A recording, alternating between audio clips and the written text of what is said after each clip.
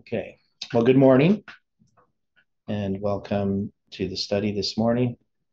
Uh, we're, we're, going to continue our study, uh, our reading from Signs of the Times, August 4th, 1881, in relation to uh, the story of Abimelech, son of Gideon. And before we begin, can we have a word of prayer?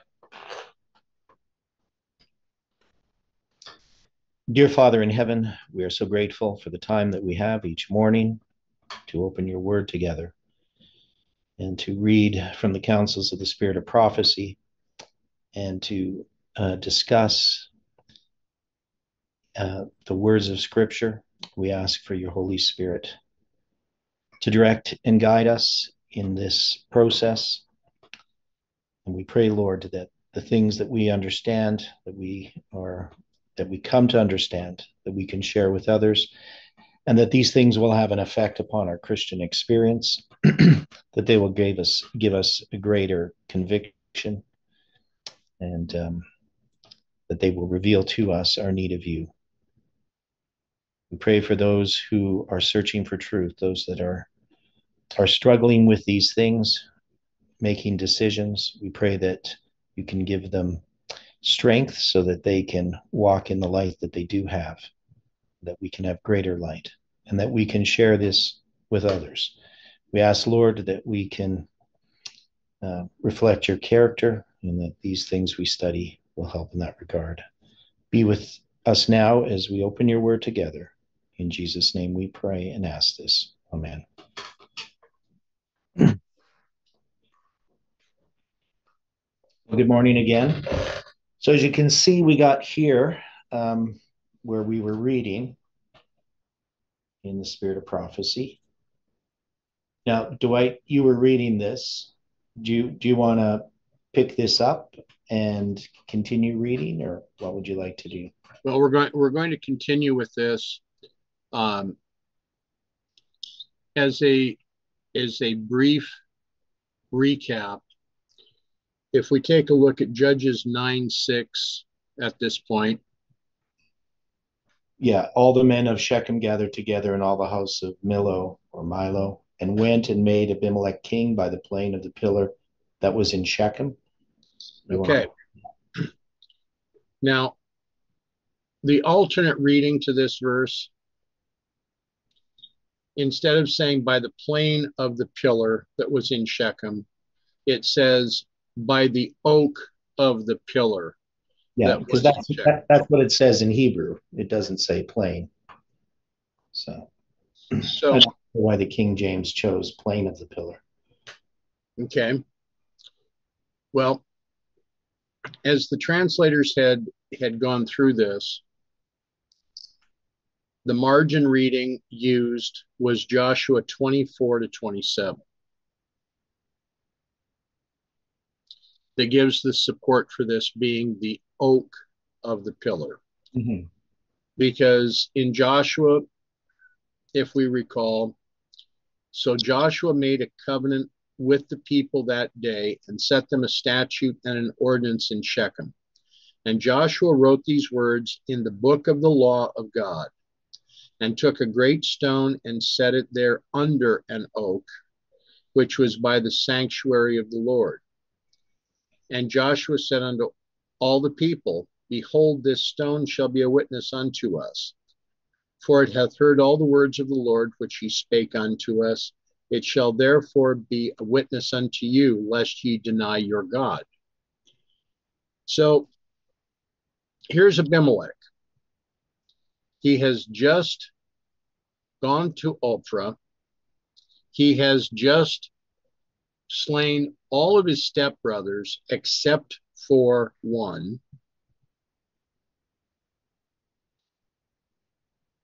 And he is now returned to his mother's family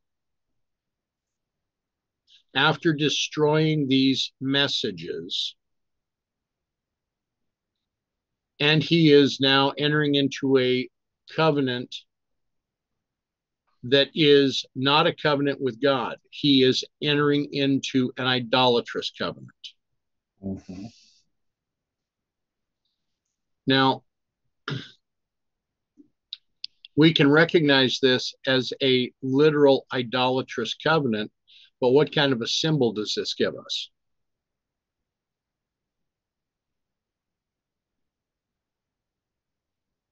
Well, I mean, we have the counterfeit covenant of the of the pagan uh, paganism and papalism. The twenty five twenty is a counterfeit covenant. Covenant. It's a counterfeit of Christ's week. Um, then you know we also see the covenant with death in Isaiah twenty eight.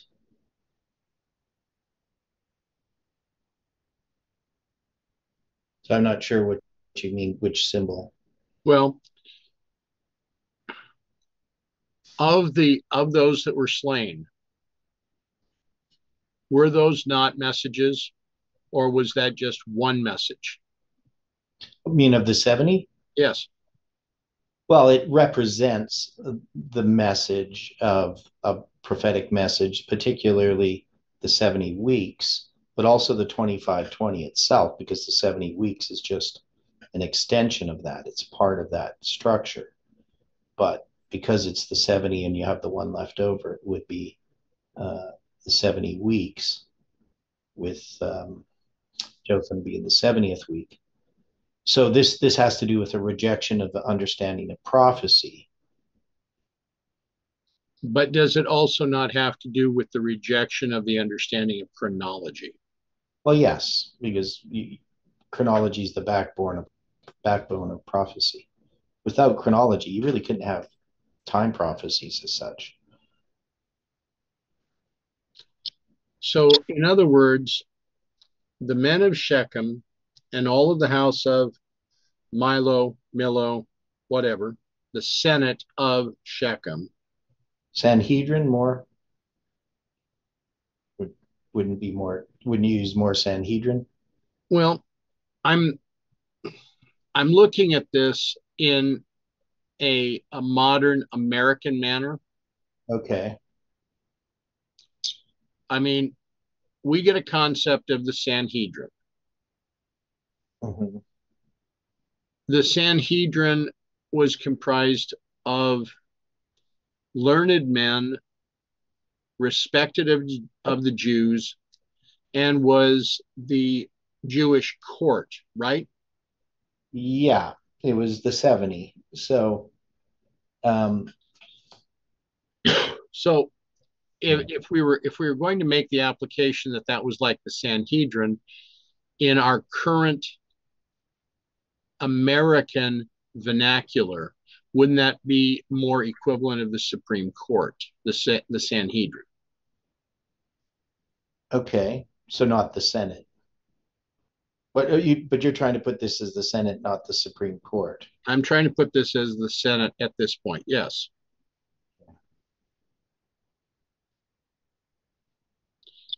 Now,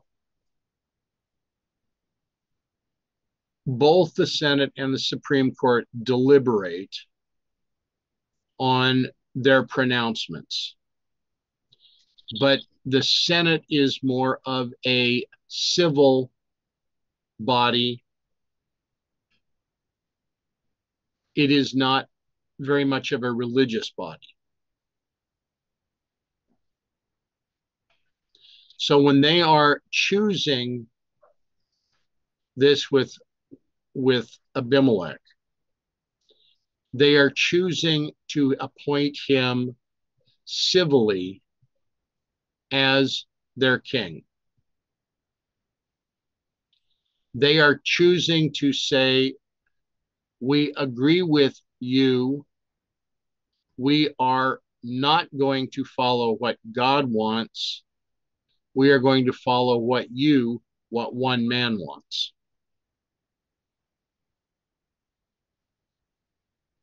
Would that would that make sense?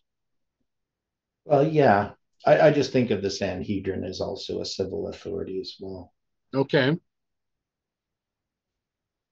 It's Could just either. They're just kind of clothed together. They're they have a a civil and judicial function. But anyway, it's just there's 70. which is a symbol of the Sanhedrin. But um, so the house of Millo or Millo is giving their support after the fact to the murder of Gideon's household.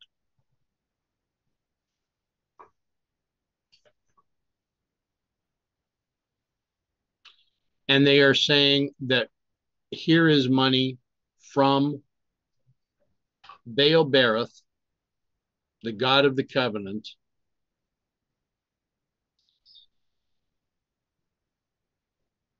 and Abimelech chooses to use that money in the purpose that he deems most necessary.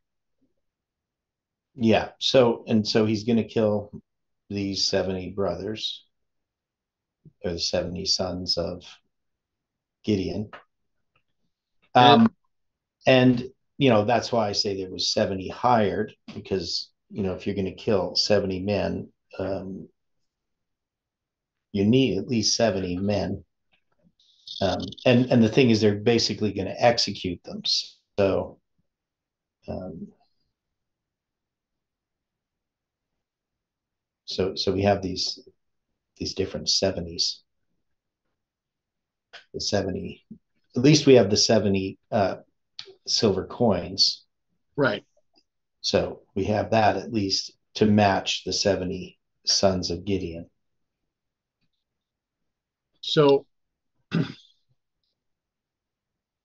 as we had read yesterday, Abimelech was successful in his schemes and was accepted at first by the Shechemites and afterward by the people generally as the ruler of Israel. so, first he comes and he is accepted by his mother's family. And now, because the people wanted someone to lead them rather than taking and, and examining the message and applying the message as it would relate to their own lives. They wanted this message to be a a step for them. Now, I don't know if I'm explaining this right, but they're they're not willing to study, they're not willing to look at this in light of God's word. They're looking at it in the light of man's teachings.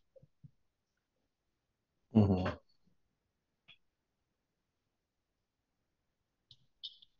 The Israelites, blinded by their own sinful course of apostasy, were acting directly contrary to God's express commands, and he left them to reap the results of their own folly. Now, is this what, what we want to see within the movement?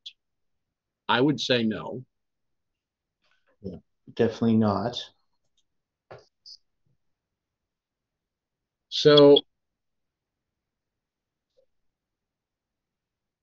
We know that the Shechemites sealed this compact with their new king by presenting him with a sum of money from the treasure which had been dedicated to the God of the covenant, Baal Berith. So Abimelech is now wanting and has has by accepting the money that he's going to use his influence to promote the worship of this false god.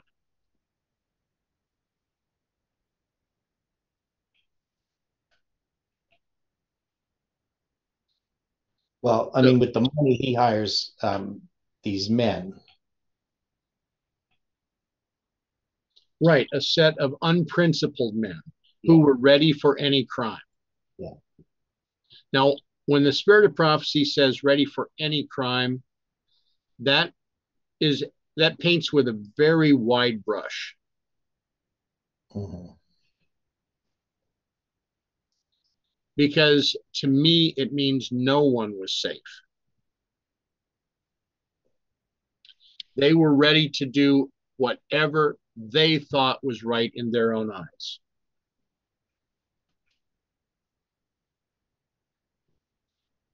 But as the spirit of prophecy says, returning in triumph to Shechem, Abimelech was immediately anointed king. Do we see in scripture Abimelech being anointed? Um, well, I don't know if he uses the word anointed, does it? Just says it made Abimelech king. Right.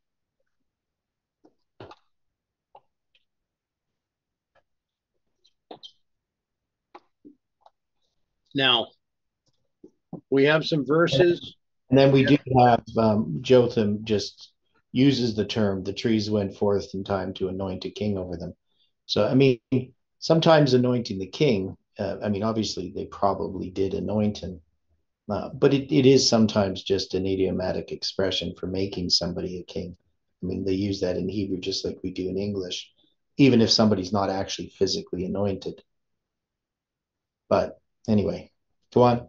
Okay, now there, there's a comment in the chat, and I'm not quite understanding what's being said.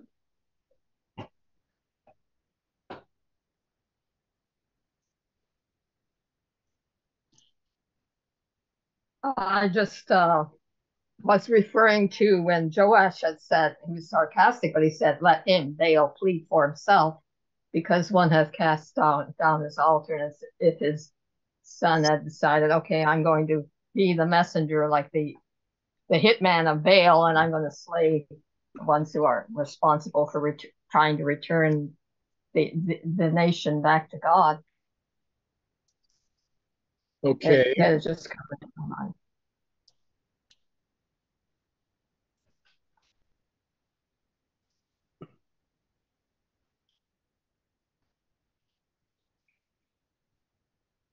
Okay.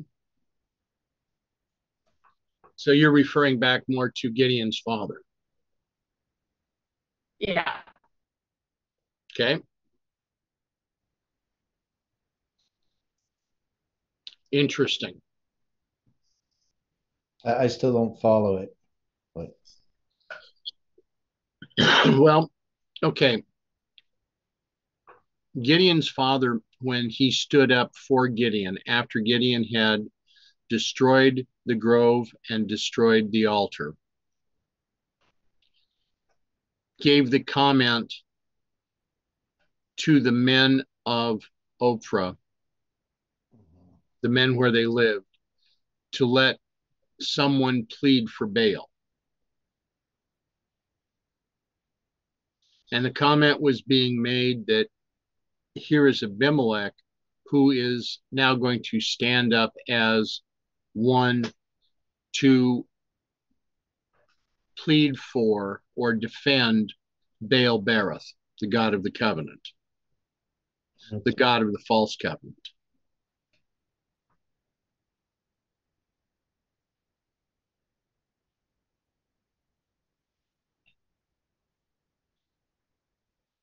Yeah, so the idea there is that, uh, but of course, that Baal would plead for himself because if you're going to plead for him, you're going to be put to death. Right, but isn't isn't Abimelech showing that that through his own character that he was worthy only of death? Mm-hmm. Okay. Yeah. So, okay. So I don't know. I, I guess I'm having a hard time with this hitman thing. Okay. But uh, I don't see that in anything in Judges six thirty one. Um, but what you can do is you can definitely connect it back to to this story in the sense of um, pleading for Baal. I mean, he's now uh, trying to he's restoring the worship of Baal. Right. And, but and and and the reason that he would do this, I mean, in opposition to Gideon's sons, um, because if he was to have the Lord on his side, he couldn't really do that. Right? You understand what I'm saying? Right. Right. So, you know, because that's definitely the Lord. And the way that that they would look at these things is there this is a conflict of gods. They wouldn't really look at it as a conflict of men per se.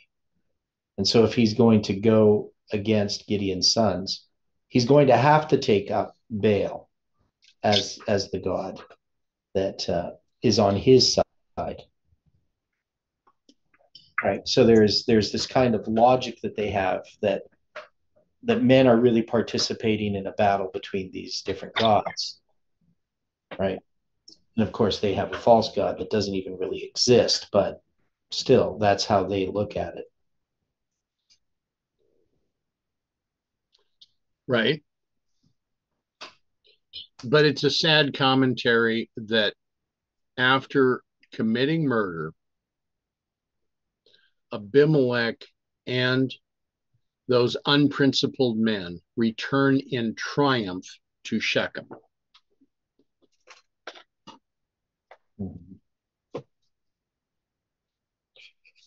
So here he is.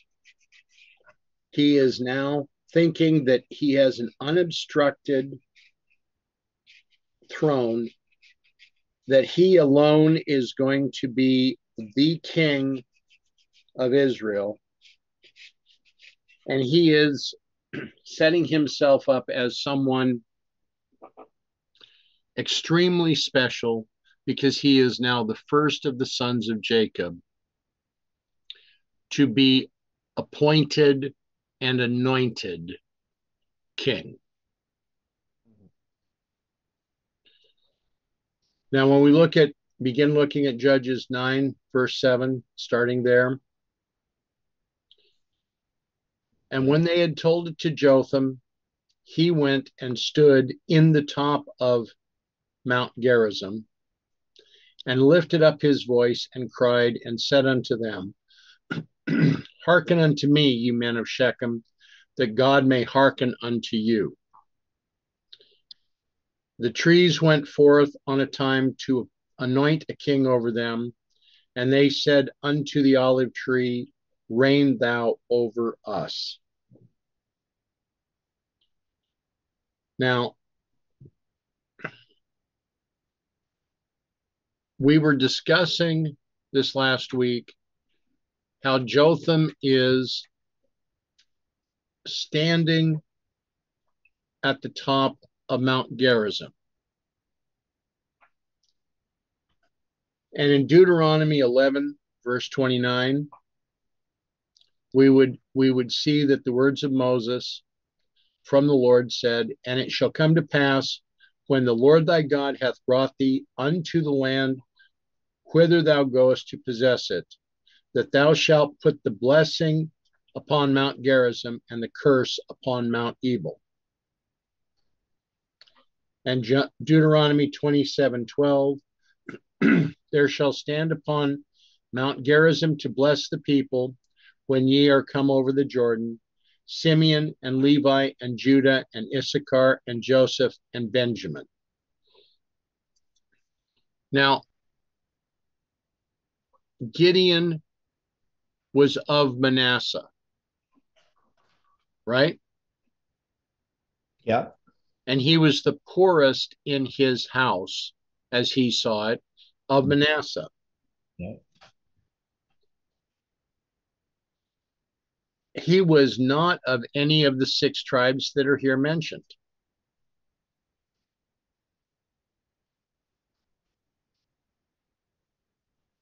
but he was a son of Joseph.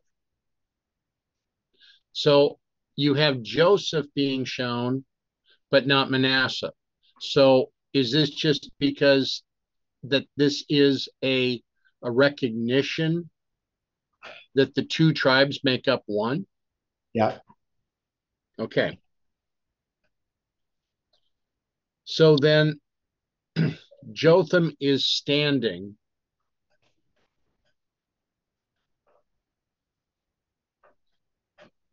I agree.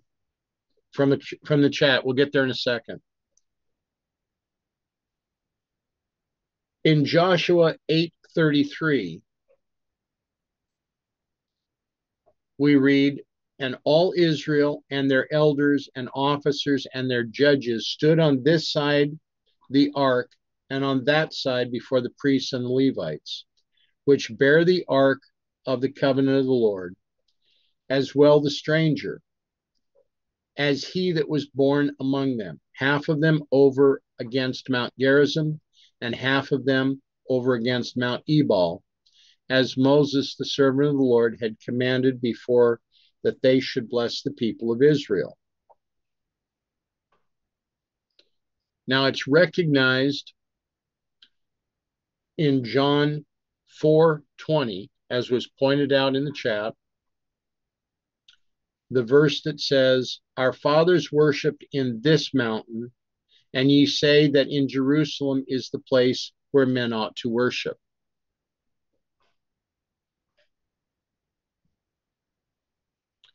So the woman at the well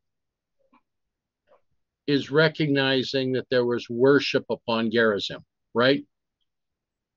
Um, uh, is it referring to Gerizim in John chapter 4?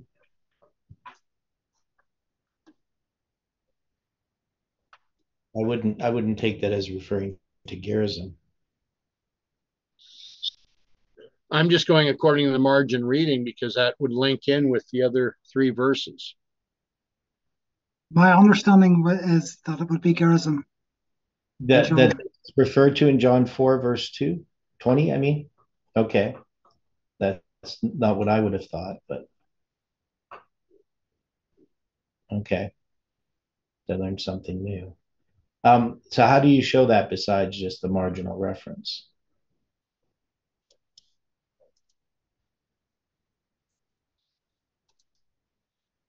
Think in, in archaeological digs, the, there is evidence there of a temple.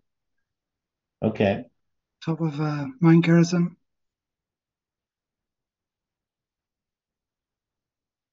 Okay. So this is something I've learned. I'm just reading here too. So this is understood as being Mount Gerizim. So it was not something that I would have thought of. But okay. So Mount Gerizim then. So it's interesting that this woman of Samaria is drawing water from a well that is very near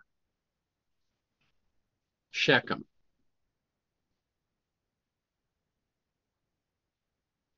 And that she is recognizing that there had been worship at Gerizim that was seen as being false worship by the Jews, mm-hmm. and is discussing with Christ that Christ is saying that worship should be in Jerusalem. Okay. Okay, so the the well specifically um because when she talks about this well, um, that this would have been Jacob that made this well. Right. So.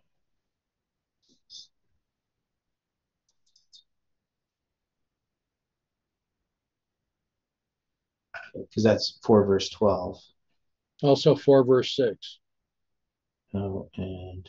Because 4 5 said, there yeah. cometh he to a city of Samaria, which is called Sychar or Shechar. So that's so that's Shechem then. Okay. So that would be he, he she is in Shechem then. Near to the parcel of ground that Jacob gave to his son Joseph. Okay.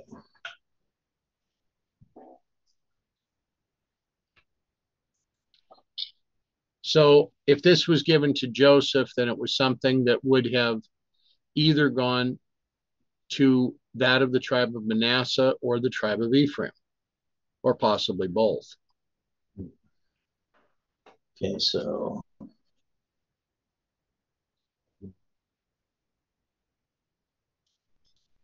so there's differences of opinion of what Sychar is, but um, it's definitely in that area. Okay.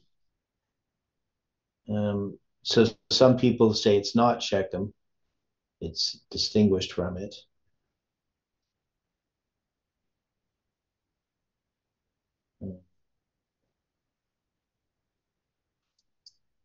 Some people put it like a mile away, which isn't very far. Um, no, it's not. Yeah, so definitely it's in that area.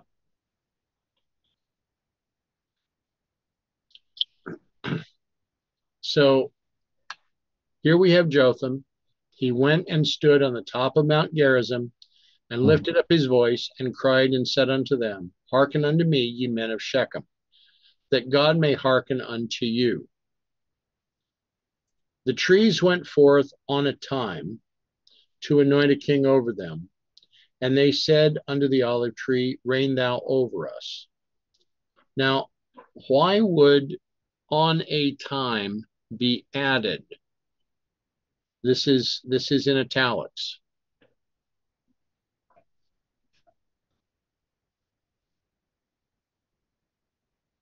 I don't know, just probably to make it flow better. Well, I mean, if if it was not there, it would say the trees went forth to anoint a king over them. Mm-hmm. And they said unto the olive tree, Reign thou over us.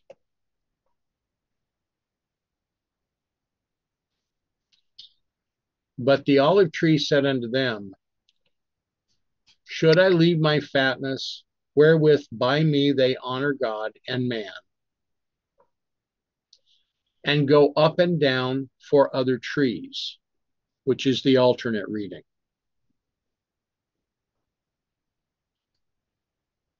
In the King James, it also it would say, "Go to be promoted over other trees." Yeah, which would be better. Okay. Because that's what it would mean. Uh, you know, the idiom doesn't make sense in English. Um, now, of course, the trees here. I mean, we find later they're the cedars of Lebanon right? So he doesn't say that at first. He doesn't really say who these trees are.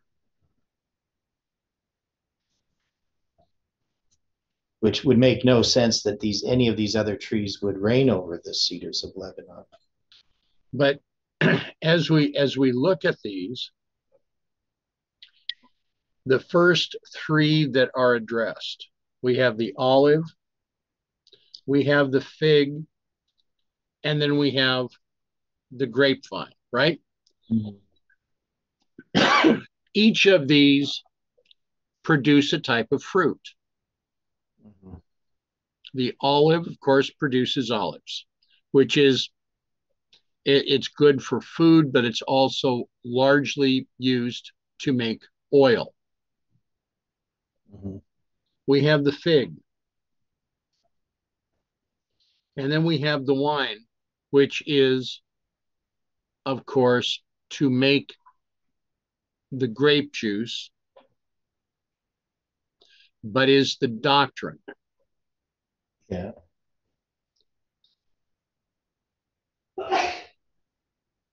So with the olive tree, why should I leave my oil? Why should I abandon the leading of the Holy Spirit? with the fig? Why should I abandon the teachings of Scripture? With the the vine, why should I abandon doctrine?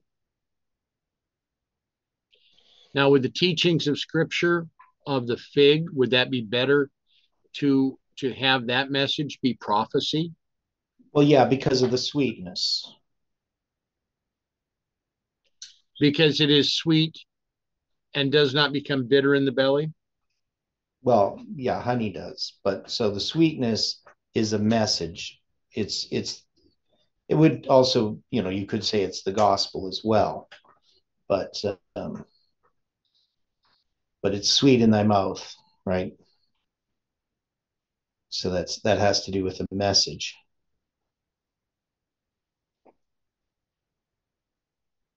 But is this also not a another type of symbolic representation of a three-step prophetic testing message?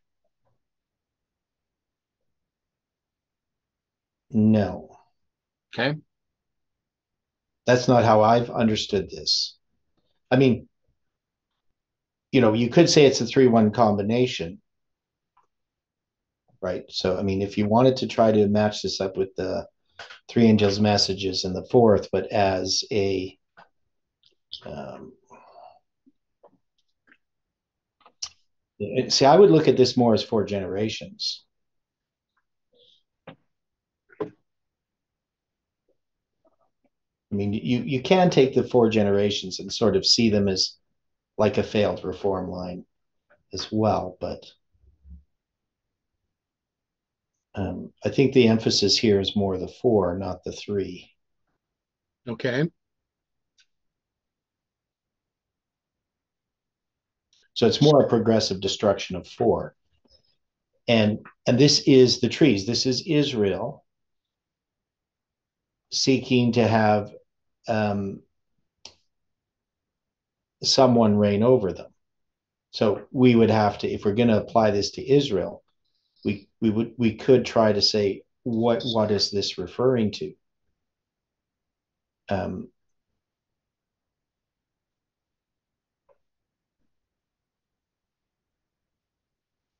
you know, are these events in the history of the judges? Are the events in Israel in the past, you know, the further past?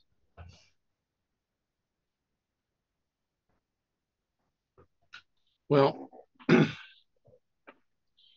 if we if we look at this to apply this as four generations, mm-hmm. then the olive, the leadership of the Holy Spirit, being denied leads then to prophecy being denied leads then to doctrine being denied. Right. And then we come to the bramble, and what's the bramble used for? Well, you might use it for starting fires. But the bramble is prickly. Yeah. The bramble is is also almost like a scourge. Yeah, it's it's fruitless and it's a weed, but the only thing that it's useful for is burning. The only thing it's useful for is destruction. Yeah. Yeah, because you, you can use it to start fires. You can go and grab some bramble, you know, start a fire with it as a fire starter to burn something. So, does this represent what we've seen within the church since 1863. Well, that's the way that I've taken it, if we're going to apply it to the church. I don't know. So the question I'm asking is could we apply this even to ancient Israel in some way? Uh, but I mean, definitely we can apply it to the four generations of Adventism. Well, if we were to apply this to ancient Israel, if we went, if we took this kind of backwards, by the time of the 70th week, the church at that time did not know much of the doctrines that had been provided by God. They gave them lip service, but they really didn't know them, right?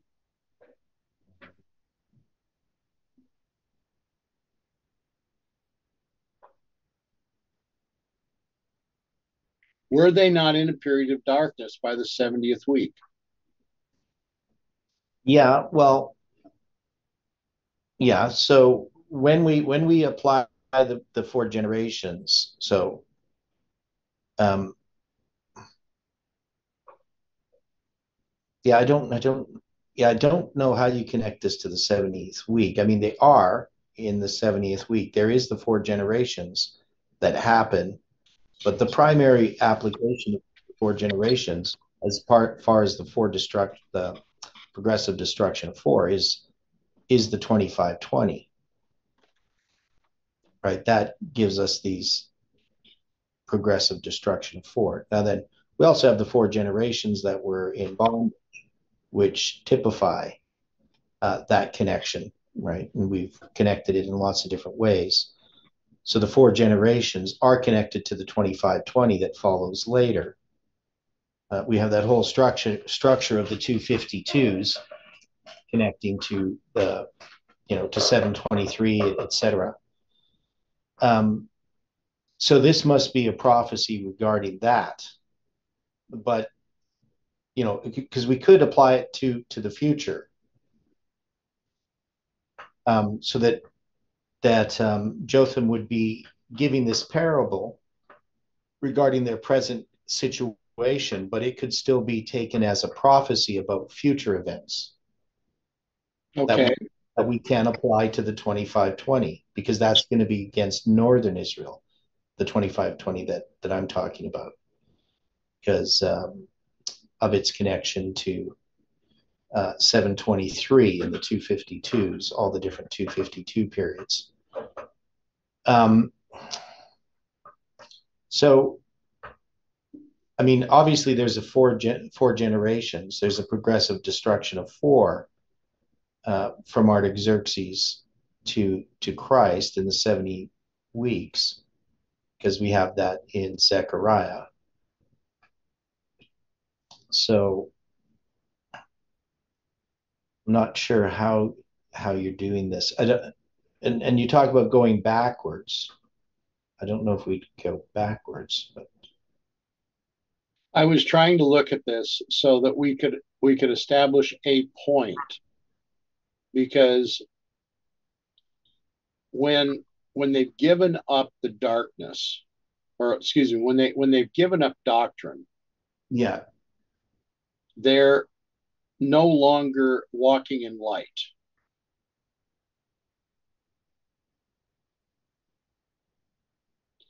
They no longer understood prophecy.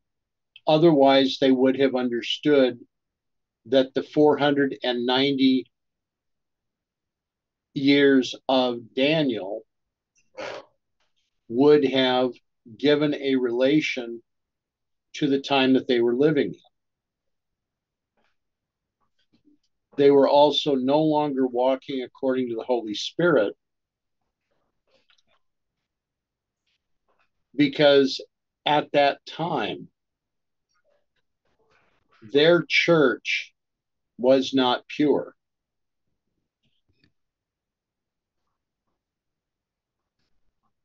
Now, as Mrs. White has said, when the church is pure, all of the gifts of the Spirit will be active, right?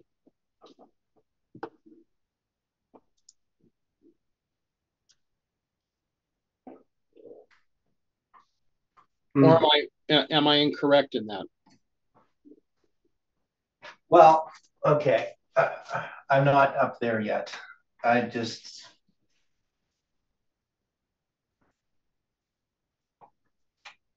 So I, I have to address this this what what you're saying. Okay, so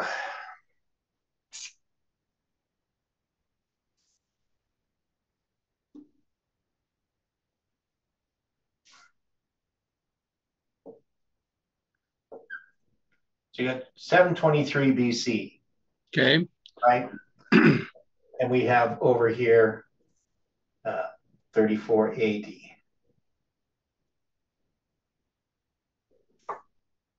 And the number of years between here is three times 252, right? Okay. Six years. And if we go another uh, three times 252, this brings us to 14, is it 1471 BC? No, it's uh, 1469. Is that right? You just have to add 756 to there. So that's 1479 there. That's okay, 1479. And in this 252 here is going to lead us to uh, Jacob blessing his 12 sons. Right? So this is going to be um,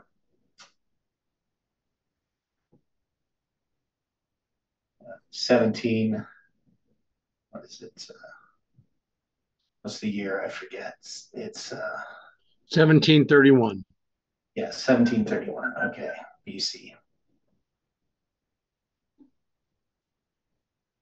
Okay, so Jacob's 12 sons. Okay. Right. So so we had we had looked at this period of 252 years.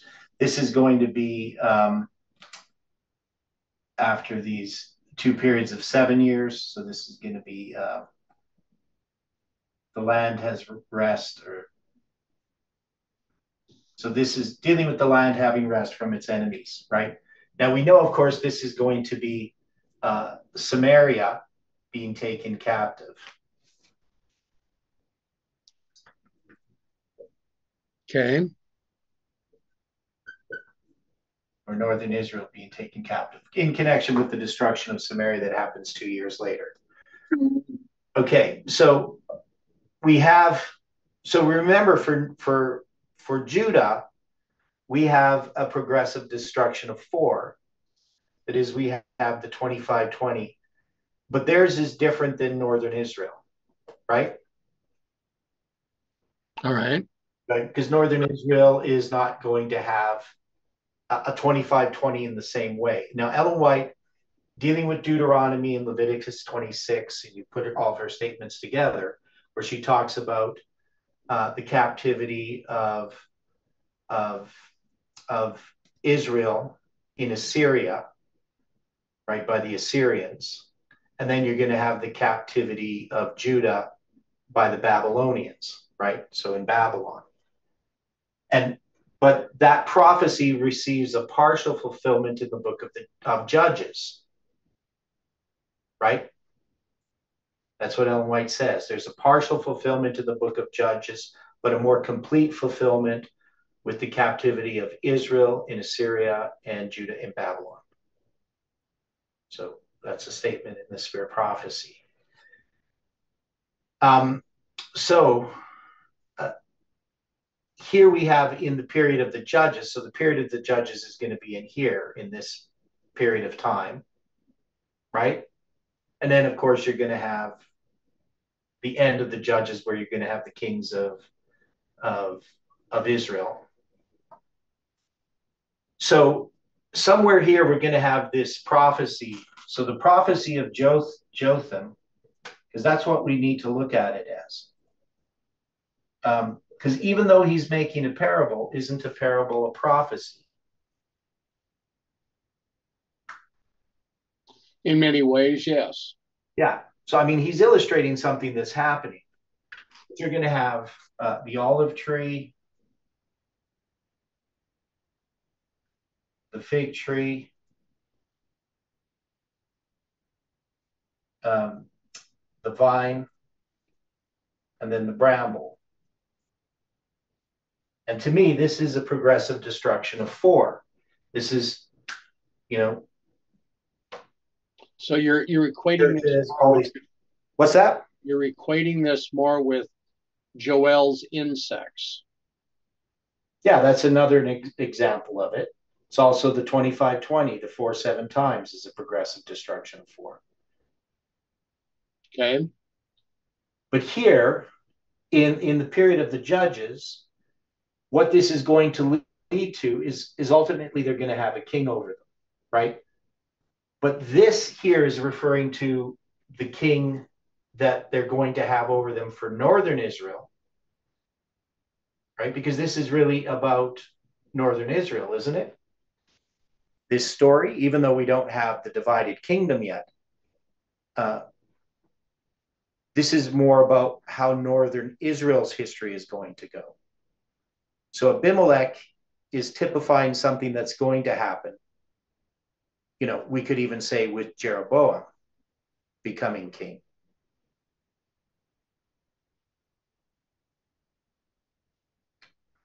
Does that make sense to people what I'm talking about?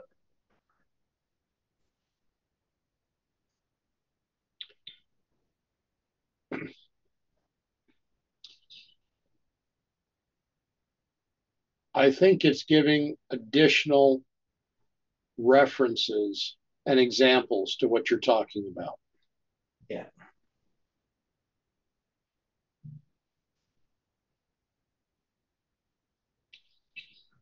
So, so I don't I don't know exactly how to place this. All I'm saying is that this is to me a symbol of a progressive destruction of four in a rejection of um like and here of course the olive tree is the one doing the rejection right?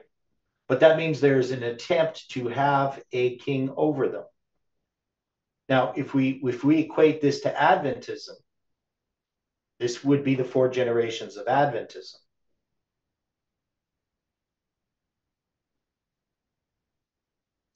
So in other words let's if we were to take this starting in 1863? Well, I would start it in 1844, but because that's where the fourth generation begins.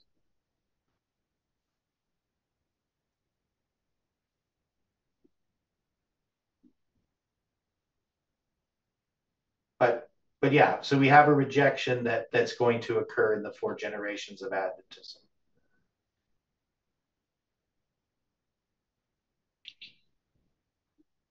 What I was what I was trying to refer to. Uh-huh.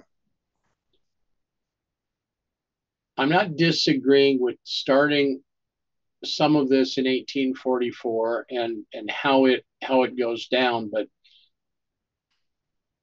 in 1863 the position is taken that the 2520 is not a prophecy and it's highly promoted by Uriah Smith. Yeah. In a period of time within 46 years, you have not only the 2520 being rejected, but you have the spirit of prophecy being rejected.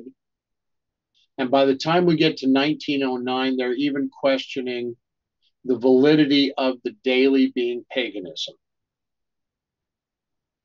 Mm-hmm. Now,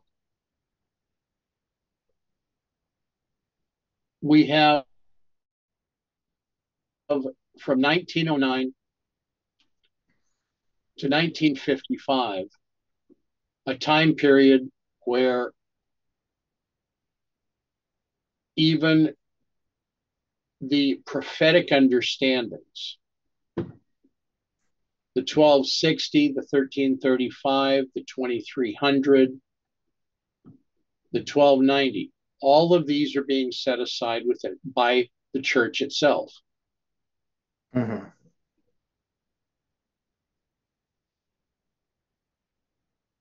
From 1955 to 2001, the church no longer knows its doctrines.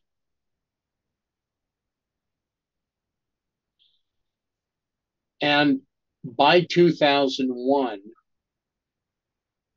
a king is now selected because the church has now decided that it's important that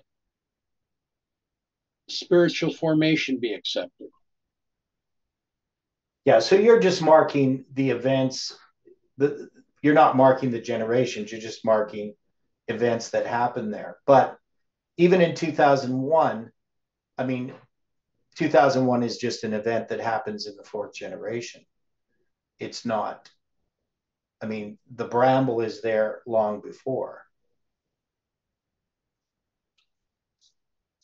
Right? No disagreement. Yeah. So I mean, we normally mark questions of doctrine as, as marking the fourth generation. 1919 is marking the third, 1888 uh, the second, and 1844 the first generation. So there's events that happen in each of those generations that is um, a failure of of the messages.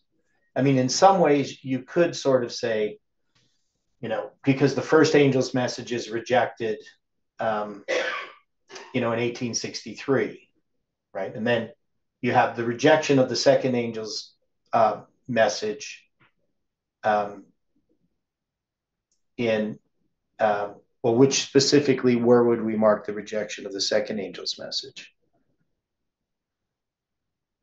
Or would that be a rejection of the second angel's message in 1863, not the first angel's message? Well, in this situation, depending depending on if you're if you're dealing with generations or the waymarks. By yeah, well, I think that the generations here. I, I don't know if I would take these as the waymarks. I mean, these are the generations. I mean, there's waymarks in each of these generations. The point that I that I'm trying to get at is that in these in these time periods, 1863 to 1909, 1909 to 1955, 1955 to 2001, you have the steps in setting up a false tabernacle, a false method of worship.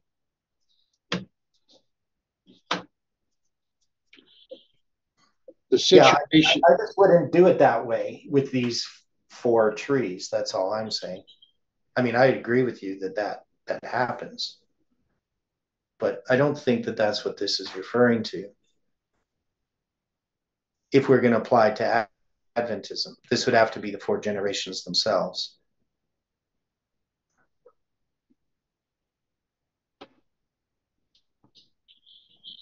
So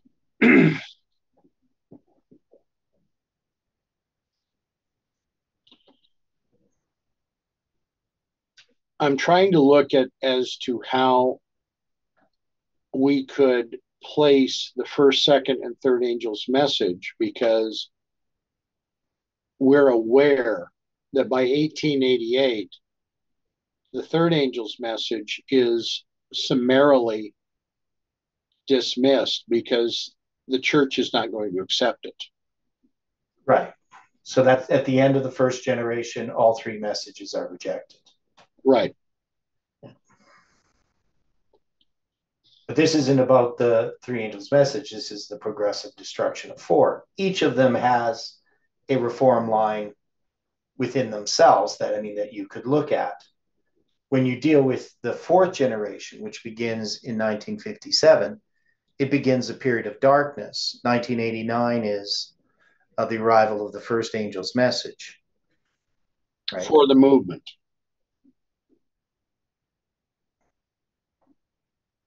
Well, that's yeah, because we're not dealing with because uh, we're dealing with um, the repeat of history.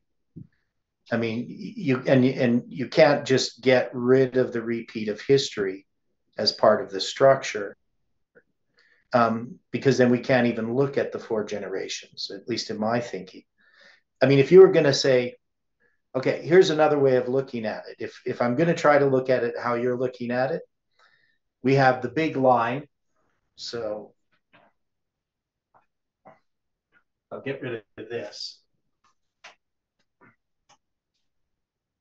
We have the line that Ellen White has. So she has the third angel arrives.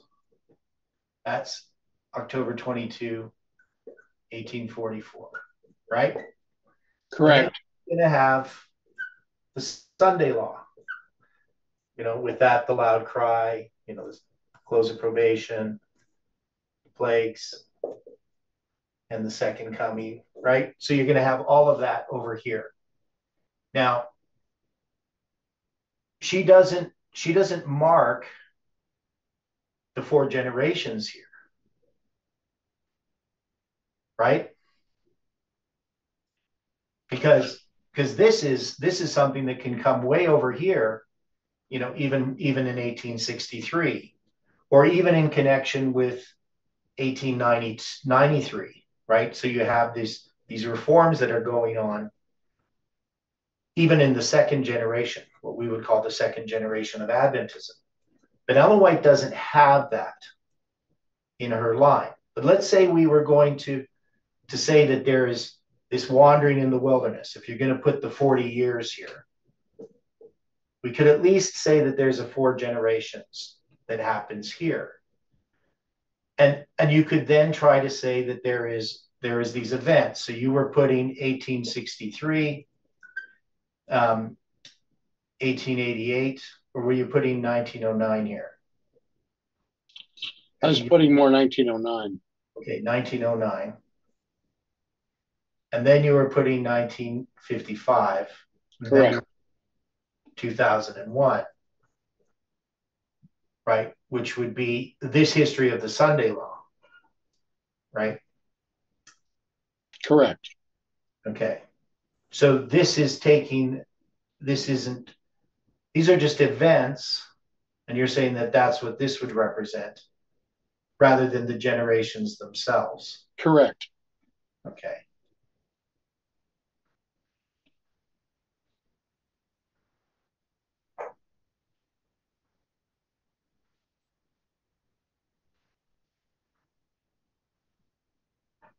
Yeah, I don't know if I would do that though. All right. But I mean, you could be right. Um, uh, I mean, because this thing is a so even when we look at this story, so we have the trees, that is God's people, the church. They are seeking to have a king over them. Now, I mean, you could try to argue in 1863, you know, they want to have a king, but they don't really get a king I don't I don't know about 1909 per se. Um, you know, because this to me is, uh, I mean, this does lead to, I guess, but you know that happens before this. I mean, as far as when I look at the Bramble, I mean, this is where the church organization um, is ruling us. I mean, I don't know if you could put this down to 2001. I mean, I know you're using the spiritual formation, but the church has already rejected the message long before that. I mean, does there is there a real change that happens here in the church that hasn't happened in 1989 or even really in 1957? I mean, uh, to me, 1957 represents the Bramble much better questions on doctrine.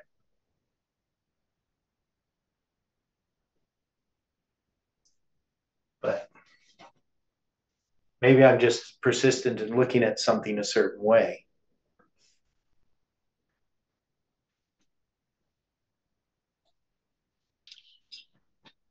Anyway, that's the illustration. Okay.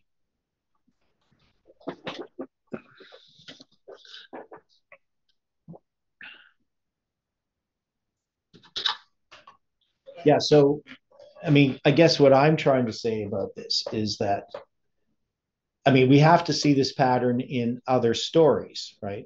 So we see a progressive destruction of four, four generations has been given to us. Right. Um, as a model in mm-hmm. which to analyze history, apostasy. Now, you know, when I first looked at this, I said, how is how is he applying how is jo- Jotham applying this parable, right? I mean, he would, I mean, is he referring to some specific events in the past that the vine does not seek to be promoted over the trees, that the fig tree does not, you know, I'm going back backwards, seek to be promoted over the trees, or um, the olive tree not want to be promoted over the trees but yet the trees in a sense are looking for that so are these some events in the history either the history of the judges or even in the history that precedes the story of the judges you know that's because i don't know what his application is other than that we have the bramble is going to represent Abimelech. We know that. But is he actually thinking about these as different events in history or different periods of time in which this has not happened? We didn't have a king over us. But now, as we've progressed through this history, now we do have a tree over us, and this tree is just a bramble. I mean, so that's that's the way I was looking at it. So so I was looking at it that way. But then I was saying, well, if this is true of the past, then that's fine. But maybe it's just a prophecy of the future. And then, and of course, if it's of the future of of ancient Israel, we could place this in the future, but also it would apply to our time. So, so we're ready to take this and apply it to Adventist history. But normally, when we look at a prophecy, we we see how it first applies, and that's where you know where I'm struggling with trying to understand this.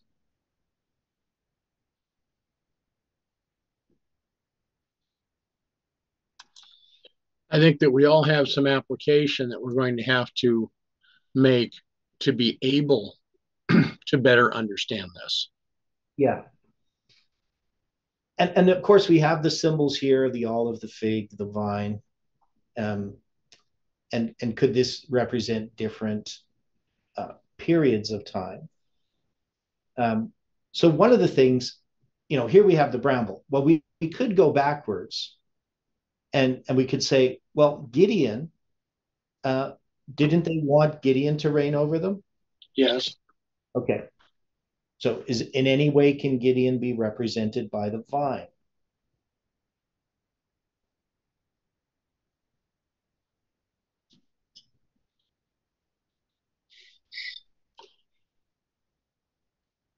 Would he have been represented by the vine or would he have been represented by a combination of the vine, the fig, and the olive?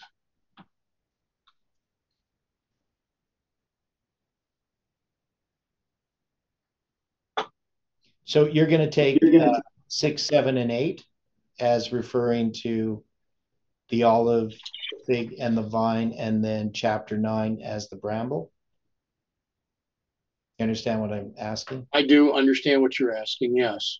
Okay, because because we had taken these because this would go back to your idea um, dealing with the three angels' messages, right? Right.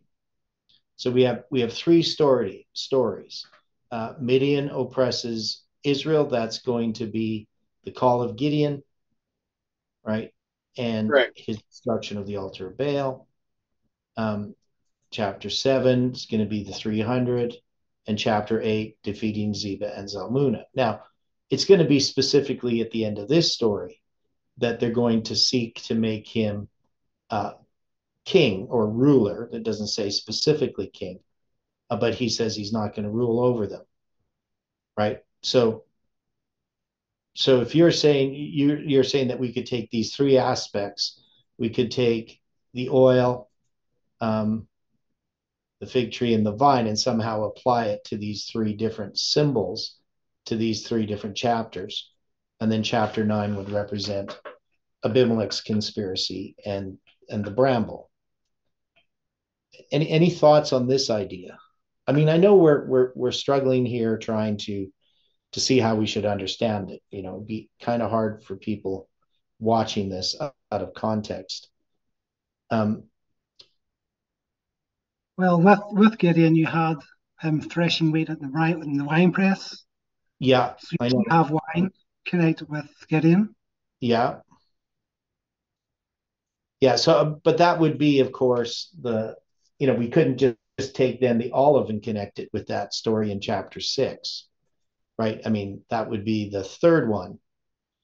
But maybe maybe we could just say that all of these characteristics are symbolic of Gideon.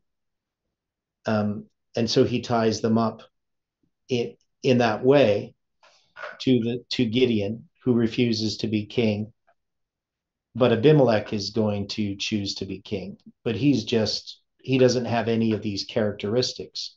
He doesn't have the Holy Spirit. He he doesn't have prophecy or doctrine on his side. And and yet he's going to seek to take a place that Gideon never took. And and that would make sense for Jotham to apply it in that way, in that he knows about his father's rejection of the kingship and and uh, Abimelech's, you know, desire to be a king. Stephen, any other things you see in the, in what we're talking about? I mean, I know we got the wine press. You know, maybe apply the fig tree and the olive tree to previous judges. You know, maybe like so. So that was yeah. So that was the other idea I had. So I mean, because that's kind of the first idea, I guess, was to say, well, there's this period of the judges. Um, now we don't have these other judges per se any story about them rejecting the kingship in the sense that Gideon did. Um, but maybe maybe we could tie it to some of the other judges, at least just as a symbol that there is this progression where people had an opportunity or wanted to have a king over them, right? But God has still been their king. So I don't know where where we would specifically apply this, but that that's the initial idea I had. Anybody else with thoughts on this or? I mean, because when we go back, um, um, you know, we have Othniel, Ehud, and Shamgar. So we have these, uh, you know, I, I, mean, maybe what we should do, um, because it's going to be, see, because it's not really till till here that we have this enemy sort of as as a relative or the enemy within i mean we do sort of have it but this midian oppression is different than the preceding uh, ones because with here you're going to have um, in the story of deborah and barak uh, you're going to have this story of um, jabin and his general sisera right?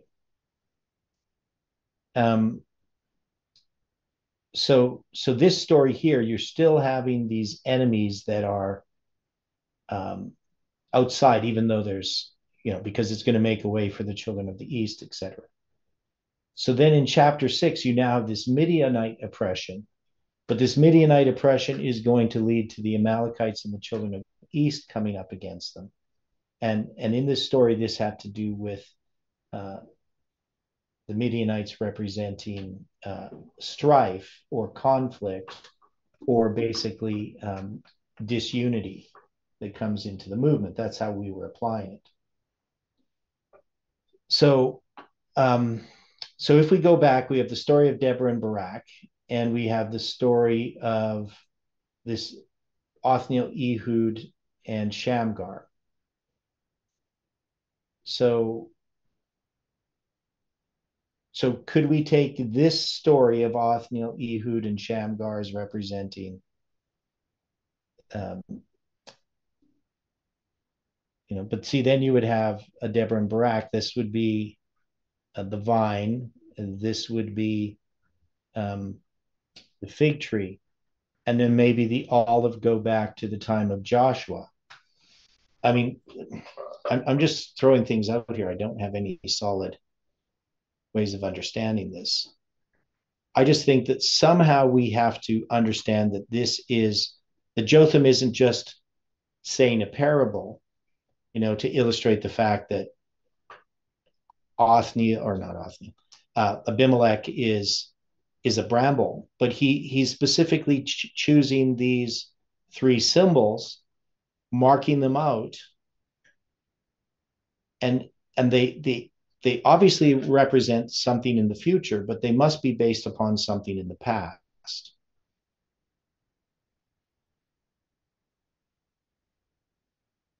Okay, so the olive goes back maybe to the priesthood. Uh, Angela is suggesting. So not just the anointing of a king, but the because the priests are anointed as well. Correct. So what if we what if we put uh, the anoint the olive to represent the priesthood that could have ruled over God's people, but chose they definitely chose to follow God, right? To have God as their king. Then the fig would represent what? Like, I mean, we haven't done a, a deep study into the fig, but we don't do know the fig represents the church itself, right? It represents Israel. Would we place the figs as being Levites? No. No, it'd have to be with the because that's part of the priesthood. But you have the priests that have to teach the Levites, and it's the Levites and the message that the Levites receive that becomes the message to the rest of the world. Yeah, but you're putting it into the future. I'm putting it into the past. I'm dealing okay. with I'm dealing with the fact that you had the priesthood in the past, right? In the time of like Moses, right? Aaron. If, if you, please, is that referring to the pe- to the period of the olive tree? That's what I'm saying. Okay, if you place it if you place it into the past, then would it be the priests and then the people? And the message then to go out to the rest of the world as being the as being the vine. Okay. Um, because Israel was not supposed to keep this as a, you know, a, a message only unto themselves. They were supposed to be the example to all of the world.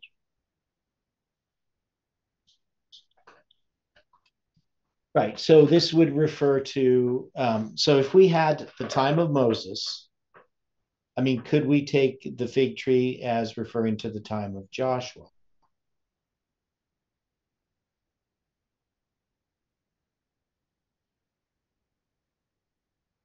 So if the olive refers to the time of Moses and the priesthood being set up, then we have Joshua. So he's now a leader. Um, but he's still going to have God as king. Right. And so he could represent the period of the fig, the fig tree. I mean, that's one way of looking at it. We could say that Joshua is still a part of that. We could say, because you have Othniel, Ehud, and uh, Shamgar, and, and they're not going to become kings, right? So we see these people who are not going to become kings. They're judges, but they're not going to become kings. Gideon is a judge. I mean, he could be represented by the vine. He chooses not to be a king. But now we have Abimelech, and he chooses to be a king. But these others are worthy of being kings in a certain sense, right? I mean, much more than a bramble, at least but they recognize that they have a role and a responsibility that is not being king. Right? Because God is our king.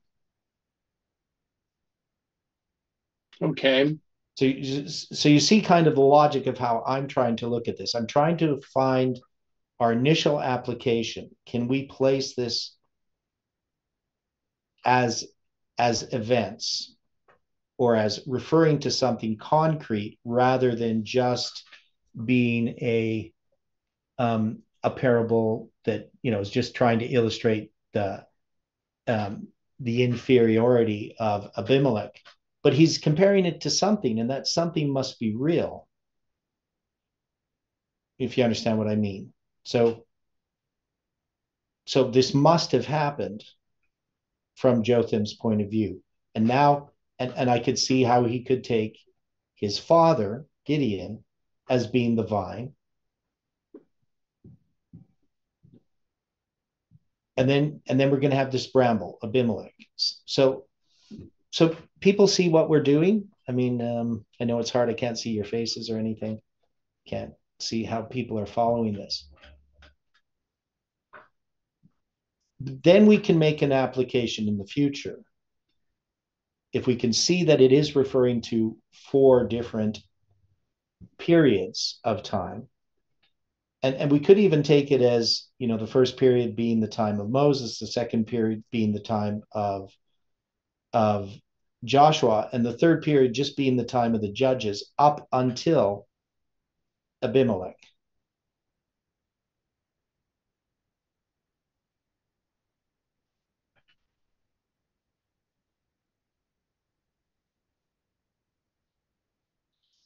All right. Now I know you you brought us here because you were going to bring us back to the spirit of prophecy to read. You brought us here for a reason to make an illustration, and and that was particularly regarding um, Gerizim and the Mount of Blessing and so forth to get into the story here. Correct. Right. So I mean, we're going to have to come back to that tomorrow. So I know we get we're getting a bit sidetracked. Well, sidetracked isn't the right word. We're just we're trying to understand the details of this story so that we can put it on a line. Right. We we have to have an understanding of this parable and the actions that are represented within the parable in order to be able to go forward. Yeah. And see, the thing about Jotham, I mean, he represents something in this movement at the present time because he's the, the 70th week. And we have a message regarding the 70th week that has come to this movement, right? So back in 2018, we studied the week of Christ. It pointed to the first day of the first month being April 5th, 2030, but we ignored that because that was too far in the future. But then as we've progressed now to the present time because the story of Judges chapter 9 is is referring more to the present time than to something in the past in this movement. But Jotham is going to reach back into the past and he's going to take this illustration to show us that the direction that we have gone as a movement has been wrong. Right? That is, we are now just the bramble seeking to rule over the trees.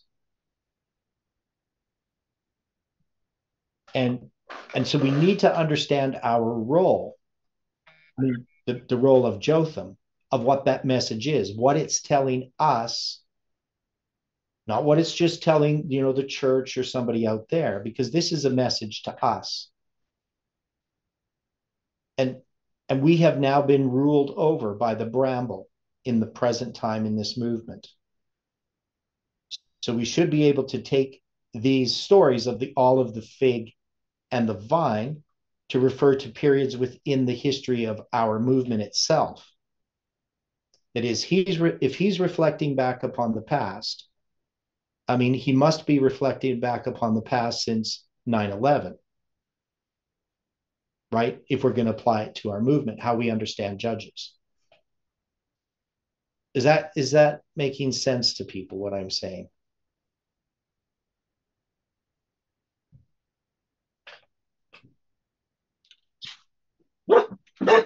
I think that you're you're giving a good foundation. Mm-hmm. Yeah, we need to work out the details here, but yeah, we do. Yeah, but but to me, that's just the only reasonable way I can look at it because of how we're interpreting this. Now, sure, we can look at ancient Israel and we can look at the church, but the primary way that we've understood this is Judges is referring to 2001 to 2023. Now, of course, we could say that Jotham is simply referring to past history, right? But if we're going to apply it to this movement specifically, um, it's not enough just to look at, at past history prior to 9 11. We must be looking at the history after 9 11 within this movement itself.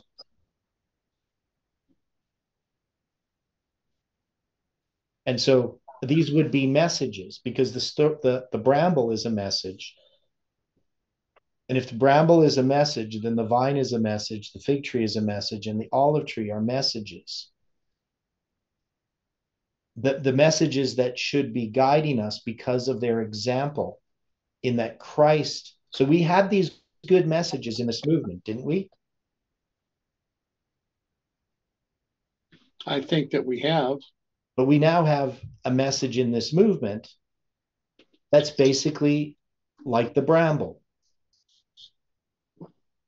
It's not going to give us good fruit. It's going to give us thorns. It's prickly, like a thistle. Yes. Yeah. Okay, so that's where we're stopping, and uh, we'll pick this up tomorrow. Let's close right. with a prayer. Dear Father in heaven, thank you again for these studies, uh, for each person who participates in them, who watches them on YouTube, who contemplates uh, these things.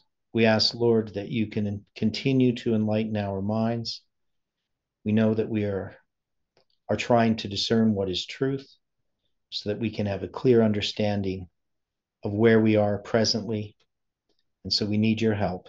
Please be with those who are suffering in various ways, with health and, and in other ways. And be with us throughout this day. May your angels watch over us. May your Holy Spirit speak to us. In Jesus' name we ask and pray. Amen.